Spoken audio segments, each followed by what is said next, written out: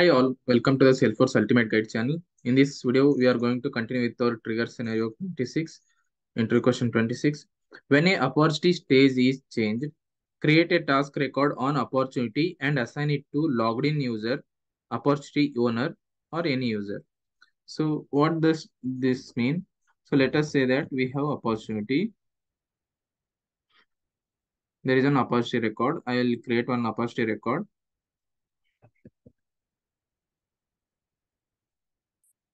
with close date in future and stage as value proposition. Then once I will click on save. Right now there is no task task that is created. Okay. Then I'm going to change the stage from value proposition to any value. Okay, let us say that I'm changing to negotiation or review. Then after clicking on saving this, so I should get a task assigned to either uh, something like user, like uh, opportunity owner or any user, okay, or the current user who is working on. So this is the task for this particular trigger. So we will start writing the trigger, okay. So first we need to determine whether it is a after trigger or before trigger. We have already come across like if we two objects are involved, and then it will be after trigger. So I'm going to start with the trigger, okay. The very first thing, I'll create a new trigger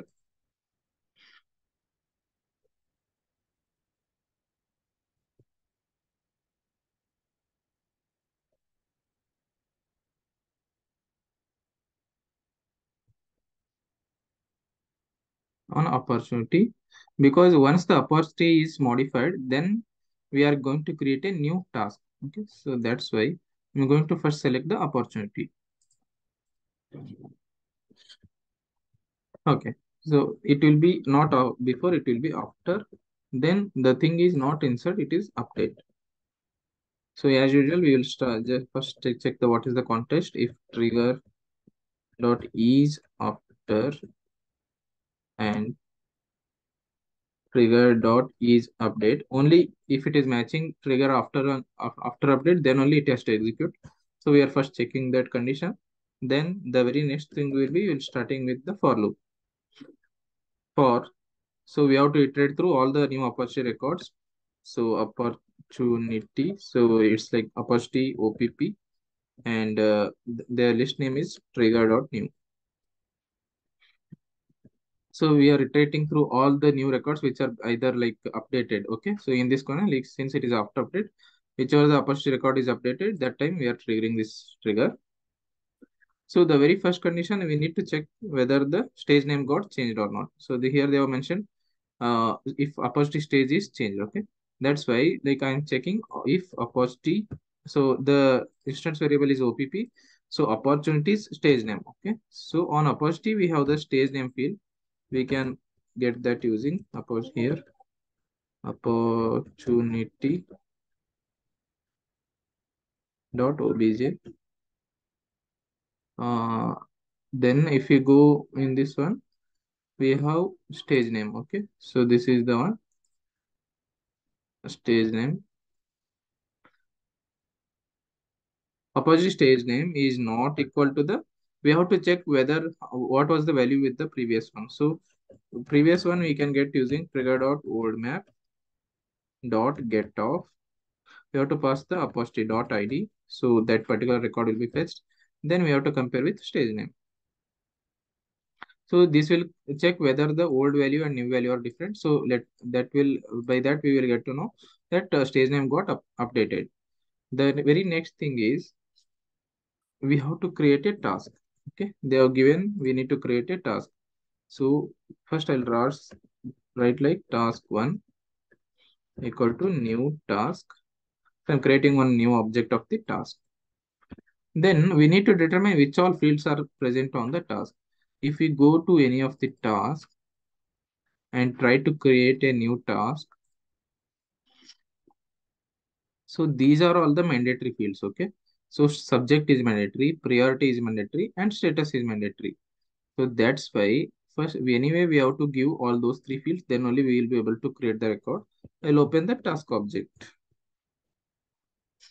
Okay.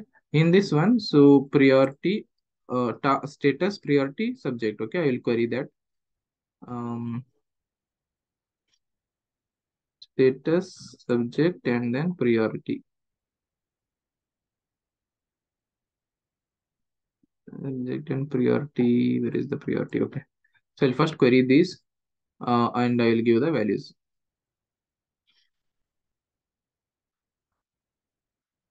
Task one dot. So first is the status. So what are the status values? We can check them from here. For status, these are the values supported. I'm giving not started. That in a single quote. Then the second one is subject.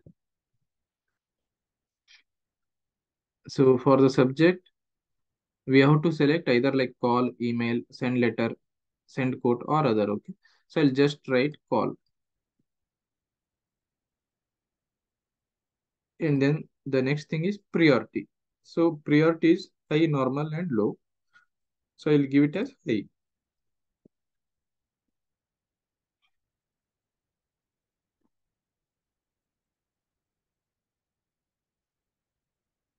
Okay.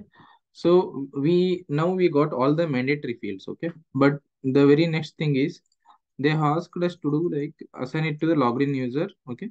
And also create a task record on opportunity. So we have to make connection with the opportunity record that can be done using task one dot.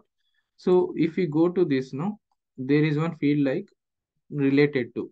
So in this one i can give opportunity uh, which is the new newest opportunity I have created.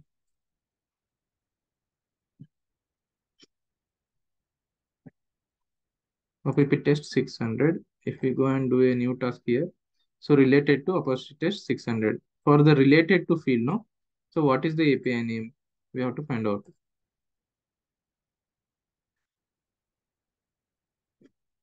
If we go to any task,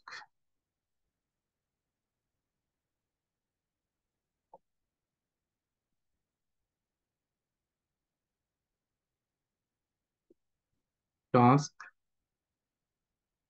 fields and relationship related to. So field level is related to, but the field API name is what ID. That will be a lookup to all these objects. So any of the object name we can give. So this is a what ID field. That's why we have to write a what ID over there. Task one dot what ID is equal to. So which ID we have to give? We are iterating through the opportunities. So we can give opportunity dot ID. Okay, now uh, we got, got it connected with the opportunity. The very next thing is we have to get it assigned to some user.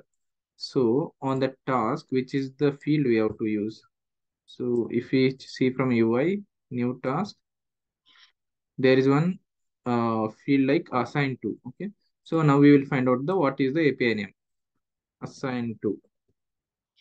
So assigned to field a label is for that we have a field name as owner ID. So I'll go and write task one dot owner ID is equal to I have to give any user. Okay. Let us say that I am working on any I am creating a post, I am modifying the post. So I'll I want to give my my ID to that owner ID. So that we can give get by using like we have one uh, user info get uh, user info class info user info not get user id in apex. So user info class is there okay? You can go through all this. Within this we have like get user id so when we uh, call this function now we will get the returns the context users login name. So i can get my user id so that's why i'm going to write user info dot get user id so if i write like this i will get my own id my salesforce.com id so just now we have created a new task and assigned all the values but before inserting uh, we need to create one list of the task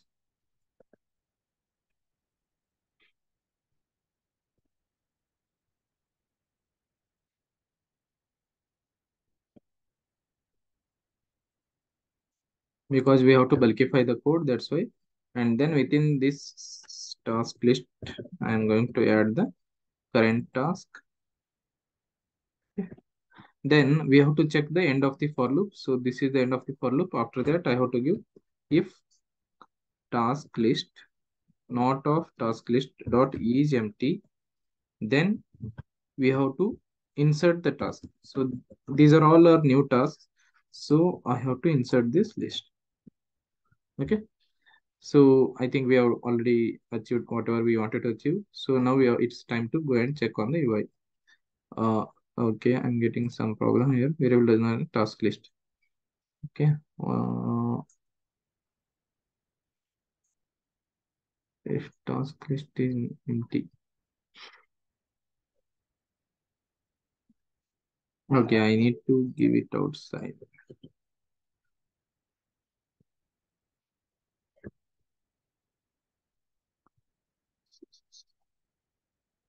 okay so we have to define the task list outside the for loop okay uh, then I will go and check it here now. It's time to check our program. Click on new task, new opacity, value proposition, opacity 69 or 97, okay, anything. Click on save. Then right now there is no task created. Uh, if I go and modify the stage name from value proposition to negotiation or review anything, then if you go and check in the activity, we have got a new task, which is this. So it's assigned to Kirtirahalli. Then subject is called opacity relate, related to opacity 97. Priority is high. So these are the default values we have given. That's why it is uh, creating a task with these values. Okay. So this is a particular uh, working of this particular uh, trigger. Okay. So I think you guys have understood. Uh, if there is any improvement needed, please comment it on the comment section and uh, please share with your friends. Click on the like button. Thank you so much.